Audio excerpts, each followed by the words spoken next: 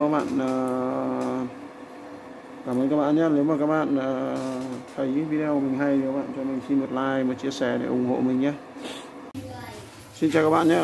Nào, hôm nay ờ, tiếp tục sau cái nồi chiên thì mình sửa đến cái các bạn nhìn cái này các bạn biết ngay là gì rồi đúng không? Máy sấy quần áo hiệu Nonan. Mã hiệu 003 công suất là 900W này. À, mã hiệu 003 bây giờ à, khách bảo là bình thường là cái đèn led này nó lên này nhưng bây giờ cái đèn led này không lên và không thấy ý kiến gì. Đấy, chính như thế bây giờ chúng ta đi check xem nhá lỗi gì nhá. Ok các bạn ok, chúng ta cắm ờ, thiết bị qua đèn nhé để kiểm tra xem nhá. Xem là điện áp ở đây là 220V này 900W này, bật lên này. Thì nó đã có sáng rồi nhé nhưng mà đèn không sáng các bạn nhé nào, bây giờ chúng ta cắm thẳng này. Bật lên này mình thấy nó đang ăn là 300W rồi. 400W rồi. 500W rồi. 600W rồi, sao lại nhanh thế? 700W rồi. Ô, vẫn đang tiếp tục tăng à? 770 780 ô, cái này có vấn đề rồi. À cái này nó xem nào. 900W cơ. Vậy là mình tiếp tục bật.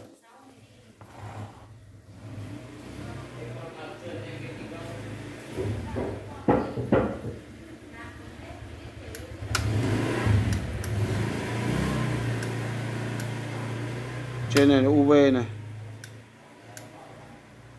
UV này. Mình đang bật lên à, ở dưới là on có nghĩa là chế độ bật này. Bật trực tiếp luôn này.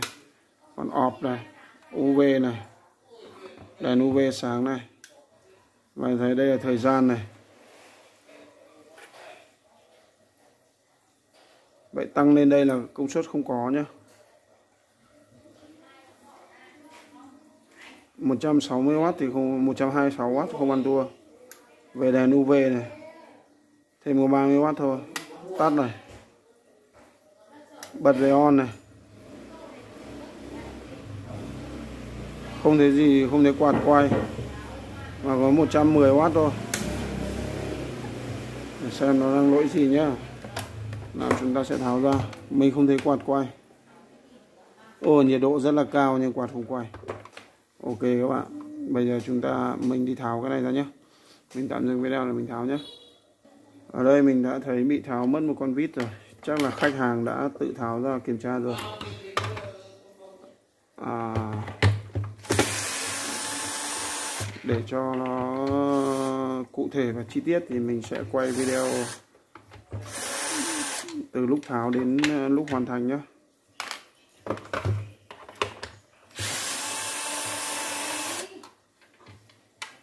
cọc này rất là lớn luôn này. mình không thấy quạt nó chạy. Nhưng mà giờ lai nhiệt đã ngắt rồi nhá.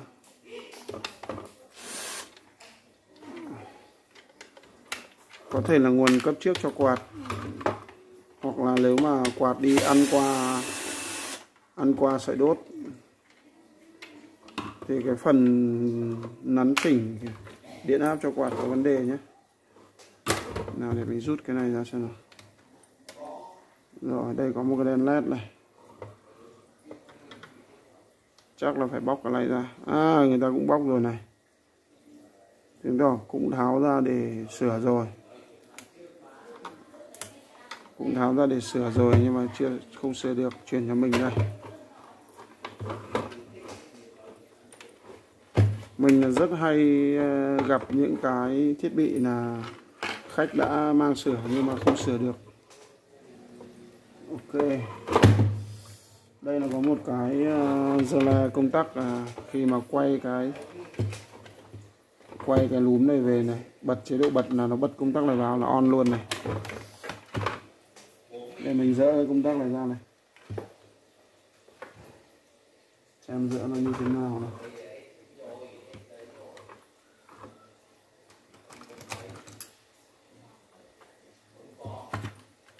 Rồi. Ở đây ờ, sao lại có một cái hiện tượng trông như kiểu bị nổ cháy nổ ở đâu này?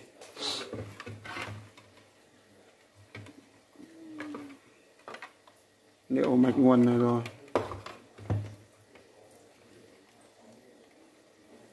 Cái dây dây này như kiểu tụ à dây keo thôi. Vậy cái, cái quạt này nó chạy được thì ít nhất cái nguồn này phải cấp được này.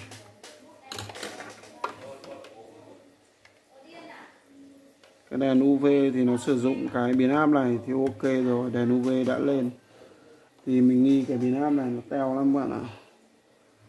Một dây led lấy điện ở đây và quạt quay. Nhưng mà led không sáng và quạt cũng không sáng, tức là cái nguồn cấp trước là chết nha, cuộn này chết này ok, để mình đi mình xem nào. Led bên này này. Ai giời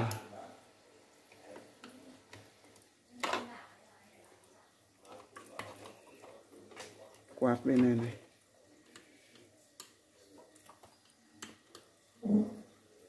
để mình xem cái nguồn này nó là bao nhiêu vôn nhé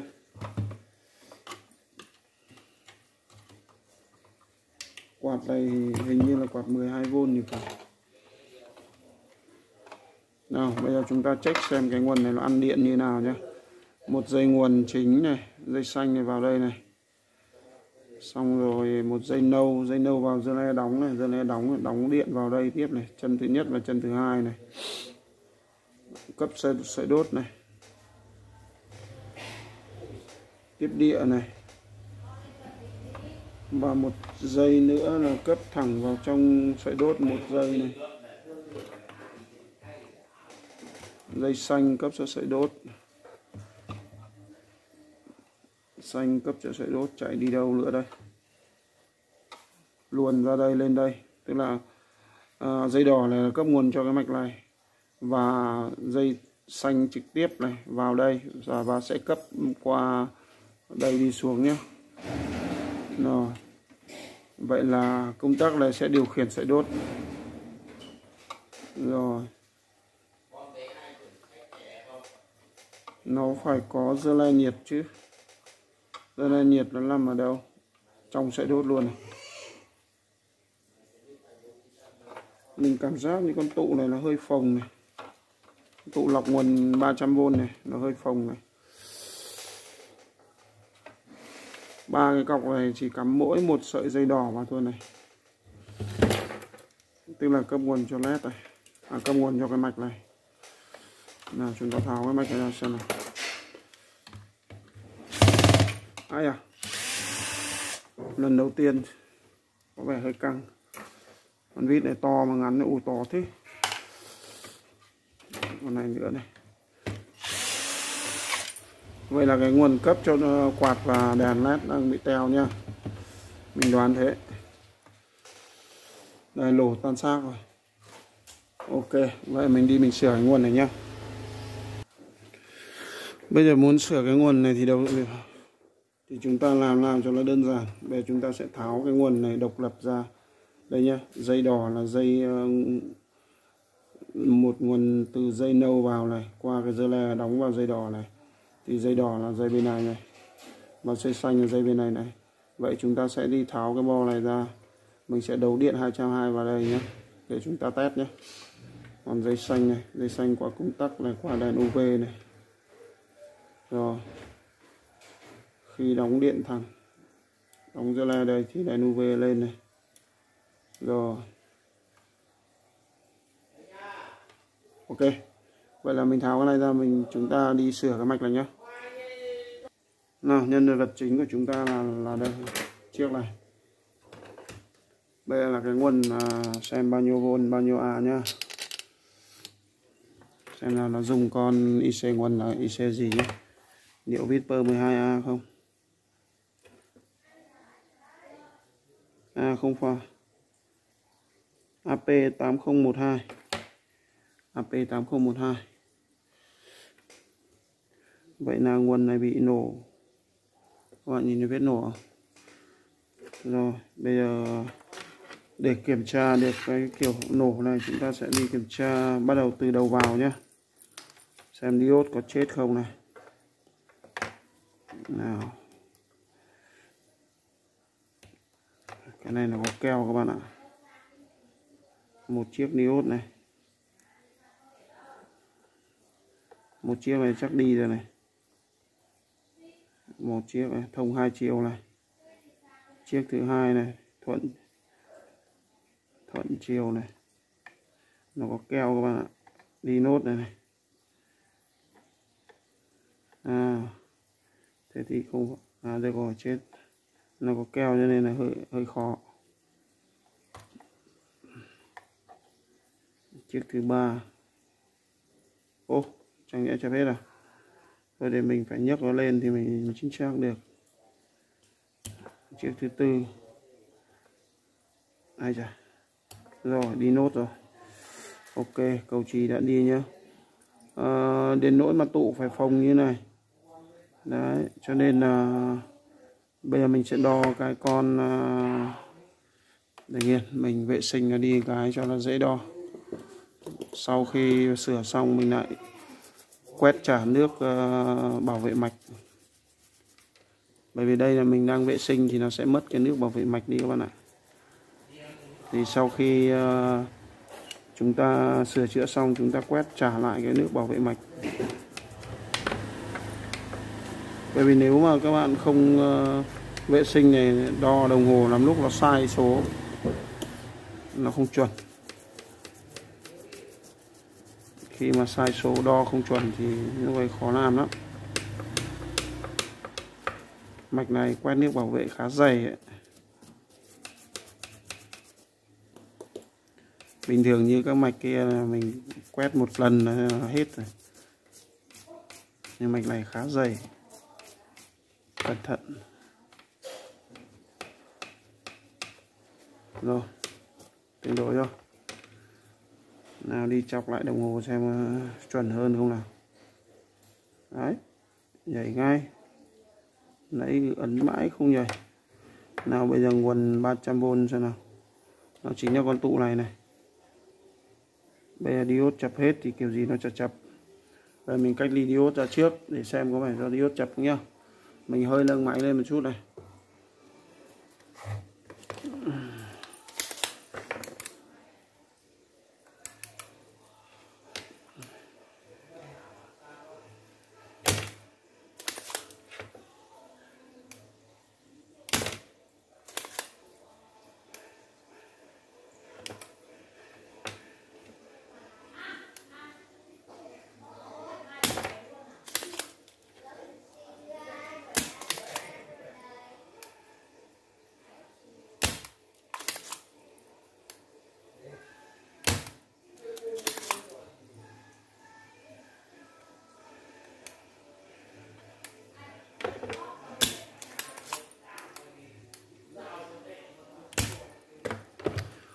À, xem nào.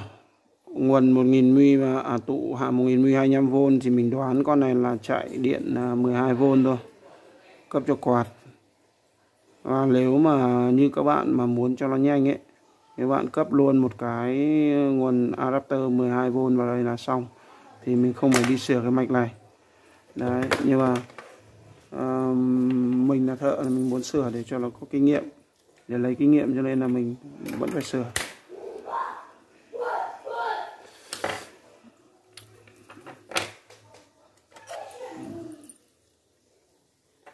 Ai chà, mạch bảo nước bảo vệ mạch lên ở trên này này.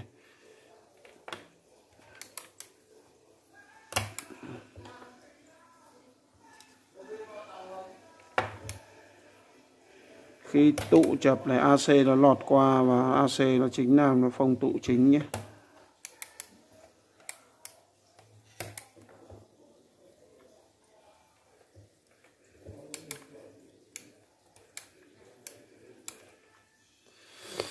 ai là keo bảo vệ mạch này dày thế. Kèo bào quét cả mặt trước, mặt sau mạch này. Công nhận là cái đơn vị này làm tốt thật đấy. Nào đo lại thì sẽ nào. Đo ngược chiều phát biết ngay này. Đấy. Tụ diode chưa chắc đã chết này. Đấy, diode không chết, tụ chập à? Một chiếc chập à? Hai diode chưa chết. Trong mạch chập phát đo cả bốn con đi hết, cả bốn. Đây con này chập rồi. Con này sống này. Nên nói chung sống hay chết là mình đều thay hết cho mình con này chập này. Mạch nó đã sinh ra lỗi thì diode nó sẽ sinh bệnh, cho nên là đã hỏng là thay hết trước sau nó cũng chết, tức là chết một đôi chập.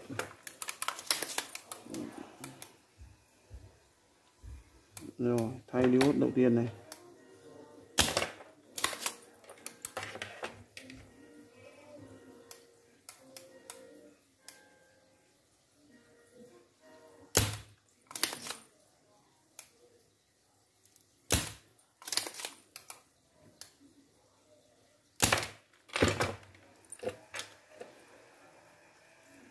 Sợ quá bôi nhiều keo bảo vệ mạch quá. Dính nhâm nhấp. Vứt luôn. Rồi tiếp tục đến con tụ này. 400V 4,7 mm mình sẽ thay cho con 10 mm vào đây. Nói chung cái mạch quần này thì nó nó không cần lên đến 10 mm nhưng mà mình cứ thay mình đang có tụ 10 mm mà. Mình thay cho người ta luôn. 10 mm cho nó càng ổn định nguồn hơn. Đấy chân tụ hoen rồi này. Vứt này. Tiếp tục chúng ta đi nghiên cứu con tụ thứ hai này. Qua cuộn dây lọc uh, tần số này. tức là con này tận hai tụ lọc cơ nào xem đo dương âm tụ thế nào.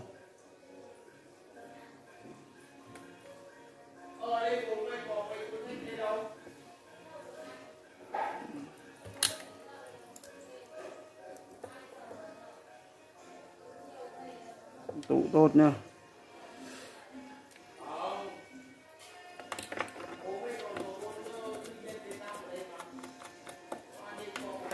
IC đứt hiệu trang IC đứt không?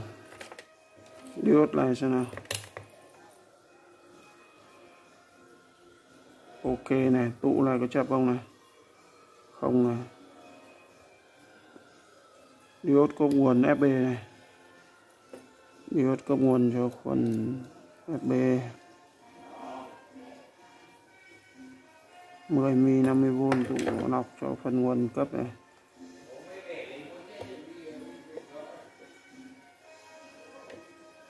Con này không dùng auto thì dùng biến áp cấp nguồn bằng uh, tự tự bìa tự ổn áp thôi. Ok bây giờ đi đo xem nào.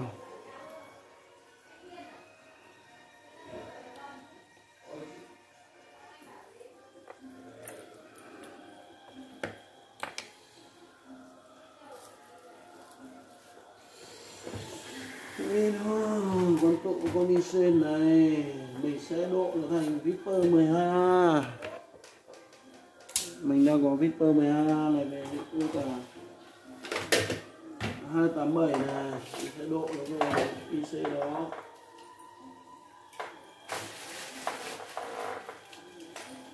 Những cái mình đang có là mình độ nó về đấy, thế là đỡ phải dùng cái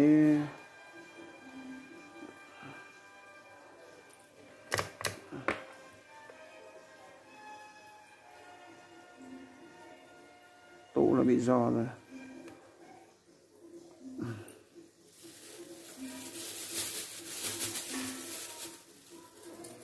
ok, bây giờ con IC này là con bao nhiêu?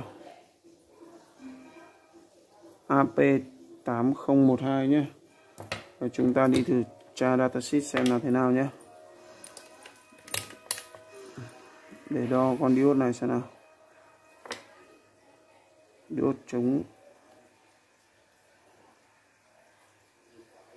thuận chiều này không vấn đề gì này.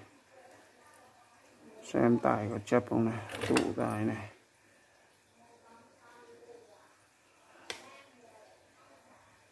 Ở đây nó ghi một con diode uh, uh, chống quá áp này. DZ ghi ở ngay ngoài này. Đấy, nó ghi một con DZ đây. Còn con led thì nó đi qua con 2K lấy nguồn từ đây đi ra qua con hại ca. Với mạch này rất đơn giản thôi.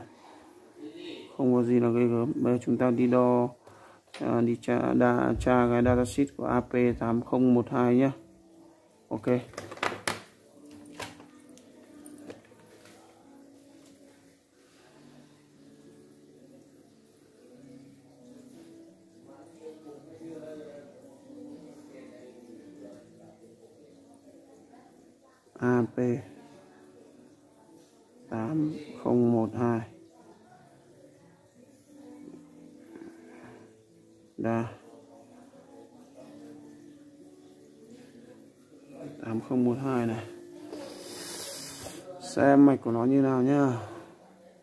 Nào, chân FB Chân nào là chân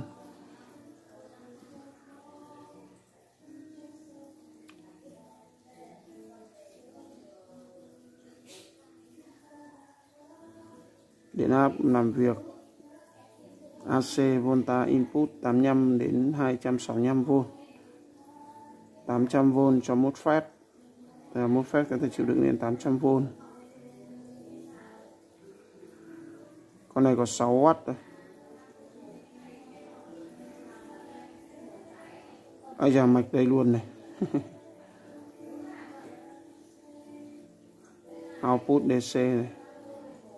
Một con diode uh, Zener với một con này này.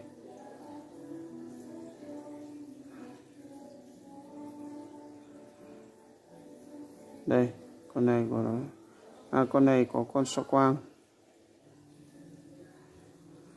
cái này mạch này mạch sao quang ổn áp qua diode còn cái mạch kia nó nó không có sao quang Đấy, có diode Zener ngay đây luôn các bạn ạ Đấy, diode Zener đây là từ chân số 1, 2, 3, chân số 3 về chân số 2 bằng một con Zener. Để mình xem nào. Đúng không? Chân 1, chân 2 thông nhau.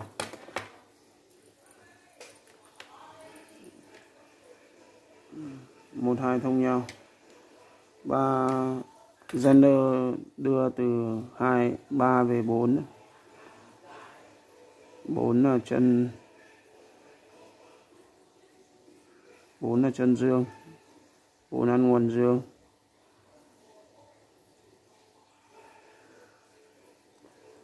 Chính mát chính mát nguồn chính vào đây và nguồn dương là đưa ra này. 4 ăn nguồn dương và ba là chân diode Zener đưa áp về. Rồi. Mạch đơn giản thế nhỉ?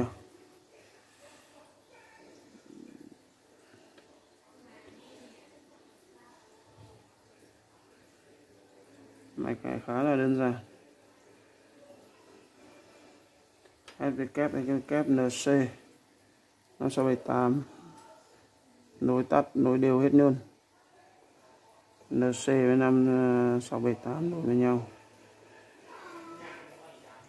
GND 12 rồi com và VDD đúng rồi, vậy đây chân số 3 trên com là sẽ diode Zener vào. Nọc bằng một con tụ gốm. Vậy là nó ổn áp bằng bằng tải ra tự ổn áp vào. Để mình xem nào diode vào đây. Ổn áp. Con Zener này ghi map này. Trên com và chân VDD này. trên com sẽ nhận bao nhiêu điện áp ra bao nhiêu thì à, tranh lệch giữa VDD và 12V 500 mA chờ cắm à, IC cắm nó 6W còn IC dán là có 3,6W thôi. Ok bây giờ mình sẽ tạm dừng video mình đi mình kiếm con nó tương đương xong mình thay thế nhé có thể mình độ sang Viper 12A mình đang độ mạch uh, con DK12 vào đây nhé FR107 không được. Nên diode uh, diode thông thường.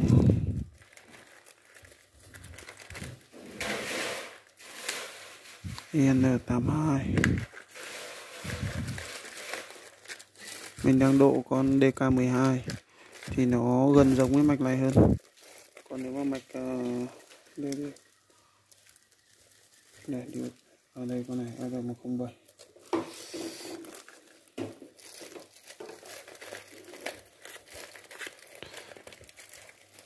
nhiều diode quá mua cứ mạch hỏng cái là mua cái đây lấy con này. Em thấy cái sung thì phải. Này đi thường này Đó, con này xem là con gì. À, HE không được con này này vẫn là diode sung. hai linh bảy. HE hai linh bảy. Con này thì dùng thì hơi phí nhỉ con này 1A con này 2A này.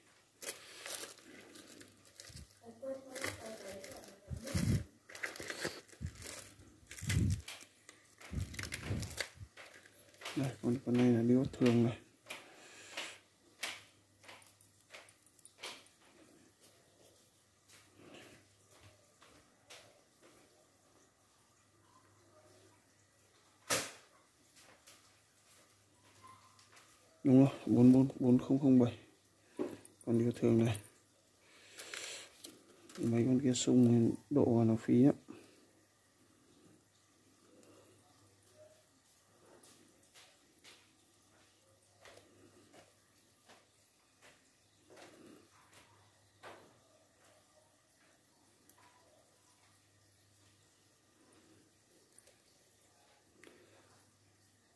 Độ mạch DK này thì nó gần tương đương nhưng mà vẫn phải dùng ốp tô quang nhé.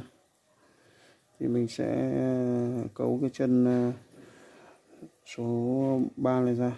Mình sẽ đưa con sao quang vào. Mình đã vẽ cái mạch nguồn của nó ra rồi này. Để sau lấy làm cơ sở để còn sửa chữa. Và một con tụ.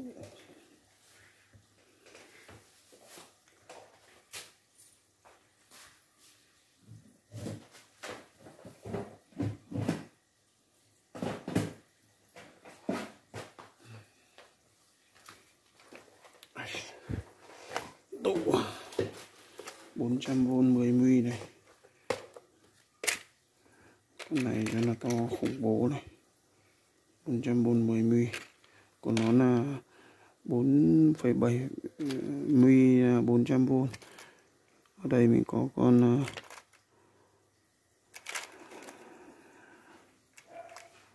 bé bé này con gì đây? Không được.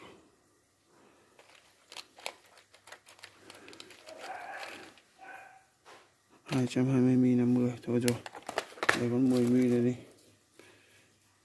Cho nó hoành tráng luôn đi.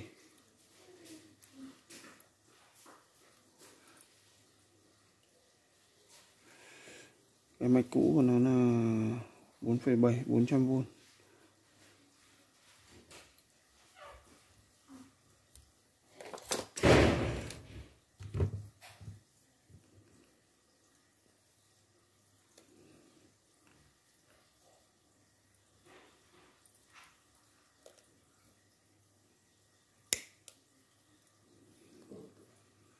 mình cắt tại sao mình cắt chân là bởi vì khi mà nếu các bạn để chân ấy thì nó tản nhiệt nhanh, nó nguội nhanh, thì nó bị xám mũi hàn nhé nó không được bóng.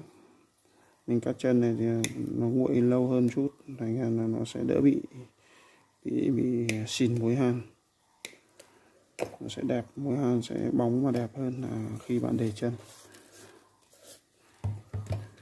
như mình đi ờ, cắm mạch cho em đi. Đây con này Viper 12A này định độ con này nhưng mà mạch Viper 12A là phức tạp hơn.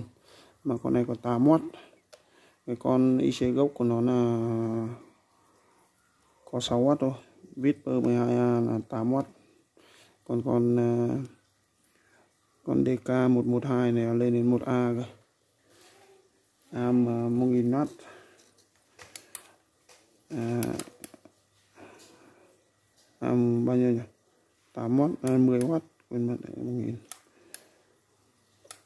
thế là nó sẽ khỏe hơn à, rất nhiều.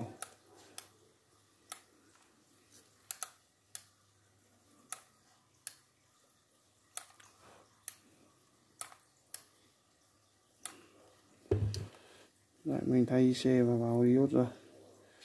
Bây giờ để cho các bạn trải nghiệm thì mình test thử xem. Bây giờ mình chưa chưa xử lý mạch nhé. Bây giờ chưa lắp ô tô vào cho con này. Thử đấu theo kiểu này xem nó có chạy không. Chấp nhận hy sinh một con à, uh, IC nhưng mà mình sẽ cắm quả đèn để nó bảo vệ IC nhé à, bảo vệ mạch nhé. Không bị nổ. Đây này. Mát này. Giường này. Tụ này tụ các bạn cắm tụ mới nhưng mà mặc dù là cắm tụ mới các bạn vẫn phải đo nhé để tránh tụ bị chập. Tụ mà chập thì cắm phát nổ luôn này. Nào bây giờ mình chưa đổ ô tô vào mình để nguyên mạch như thế này để trải nghiệm xem cái mạch này mạch à, uh, DK112 có sử dụng theo kiểu này được hay không nhé Ok để mình đi lấy cái dây nguồn mình đầu vào. Ờ, 8012 kia được có 6W thôi. Và bây giờ là công suất ờ, đầu vào là 3W nhé. Ok vậy là uh, ờ, mình đã xử lý xong cái nguồn này nhé. Bây giờ chúng ta đi uh, lắp vào cho khách thôi. Đây. Điện áp bây giờ là đang là 230V và chạy đến 11V 75 mình sẽ để cho một lúc xem thế nào. Viper 12A ổn áp không cần không cần sử dụng ốp tô quang nhé. Các bạn chỉ cần nhồi một con diode ngược vào đây này. Diode ổn áp vào đây này, là xong này. Định thiên cho nó này. Và cái quan trọng nữa là một con diode ổn áp vào đây nữa nhé. Ghi map 12V vào đây này à con này phải 16V bởi vì khi mà không tải thì nó ghim theo con áp này. Còn có tải thì nó sẽ ghim theo ờ, tải và dùng con ổn áp này nhé Đấy. bởi vì khi không có tải thì nó sút áp trên con này. Con này là 16V thì nó sẽ ghim áp à, qua con diode này nữa thì là 0,6V nữa.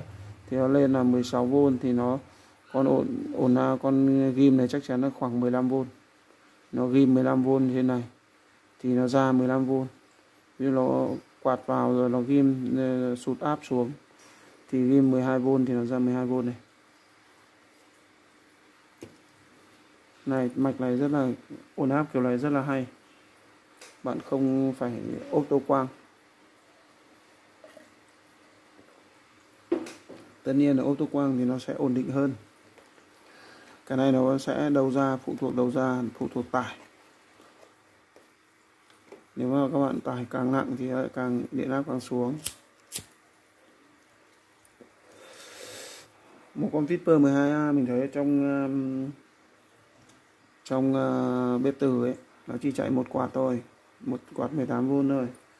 Còn nếu mà bạn chạy lên hai quạt 18 18V à, thì bạn phải dùng con 22A nhé chứ không dùng con 10, 12A được nhé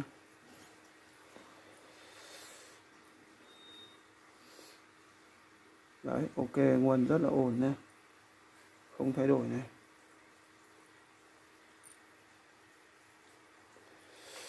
Rồi bây giờ mình sẽ đi mình uh, lắp vào thiết bị thôi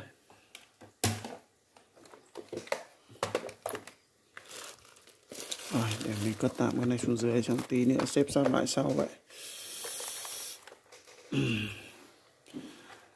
Cái này diode cho nên mình không ngại mình xé ra. Rồi diode xé ra thì cái ờ, có những con nó, diode nó bị mờ ấy. Thành ra là, làm lúc nó lẫn nhau là mình không không thể lấy ra được. Những con linh kiện khác thì nó nó ghi nên bóng bán dẫn thì nó ghi nó, ghi rõ nhìn hơn đấy mình sẽ xả điện này cho nó chắc. Con này có 10 mi thôi nhưng mà cần tắc vòi nấy các bạn ạ. Vậy là tối nay mình sửa thêm, xong thêm một cái thiết bị nữa này ở đây nó có cái dây chì này nhá mình sẽ hàn cho một cái dây chì 3A vào đây vậy. Con này có quá nhỏ nên khéo 1A thôi cũng được. Nhưng mà khi mà nó mà quá tải thì 3A nó cũng chết cho nên là mình sẽ hàn một cái dây chì vào đây cho bạn ấy. Hàn một cái câu chì 3A vào. À, từ đây vào đây này. Đấy xong rồi chúng ta sẽ đi lắp vào thôi. Ok để mình lắp vào nhé ok mình lắp vào xong rồi này. Mà bây giờ chúng ta đi test thử nhé à, mình sẽ cắm qua đèn trước. Ok này. Nguồn và quạt đã chạy rồi nhá. Tắt này. Bật lên này. Đấy, UV lên này. Đèn UV thì nó ăn nguồn nhá. Thì mình phải cắm thẳng này ok này. Bật automat này. Bật quạt vào đây. Đấy, đèn UV đây. Rồi UV này để như kiểu phải khử cái gì ấy. Và sợi đốt lên này. Đấy.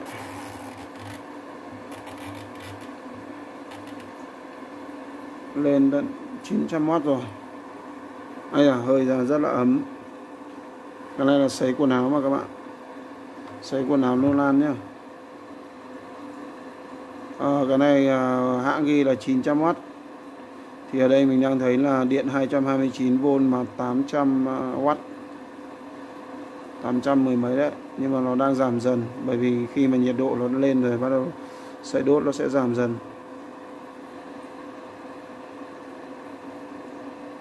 Ok vậy là mình đã sửa xong cái uh, sấy quần áo lola này nhá. Uh, mình đã độ Igonice thay Igonice Viper thay cho con uh, AP8012 nhé